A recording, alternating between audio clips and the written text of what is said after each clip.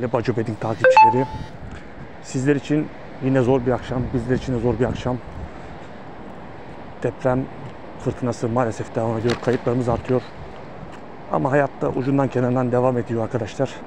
Sizlerden gelen yoğun talep üzerine bir var kuponu hazırladık.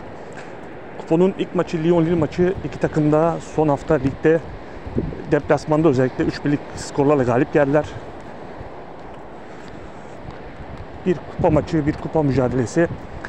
Ee, iki takım da e, sezonu kupayla kapatmak için bu maçı çok büyük önem veriyorlar arkadaşlar.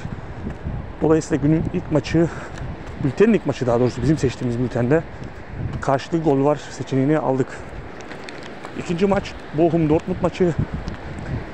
Bochum bir önceki maçta Mainz'a 5-2 yenildi. Fakat kendi evinde Hoffenheim'i adeta sağdan silerek 5-2'lik bir skor elde etti. Dortmund da yine ligin İyi takımlarından, golcü takımlarından Freiburg'u 5-1 yendi. İki takım da bunun moraliyle buraya geliyorlar.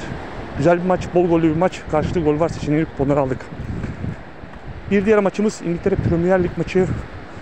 Manchester United, Leeds United maçı arkadaşlar. Bu maç Leeds açısından çok önemli. 17. sıradalar. Kötü gidiyorlar. Kötü girişe bu deplasmanda son vermek isteyeceklerdir. Bu da bize karşılıklı goller izletir. Günün son maçı Marsilya Paris Saint Germain maçı arkadaşlar.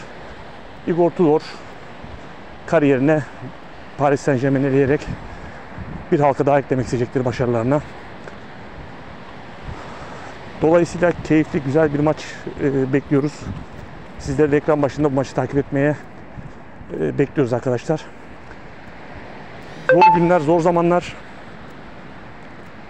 Ama hayatta bir şekilde ucundan devam etmekte. Bizler de akşamınız keyifli geçsin diye naçizane küçük bir hazırladık arkadaşlar. Hepinize keyifli akşamlar, artçısız depremsiz akşamlar diliyoruz. Hoşçakalın.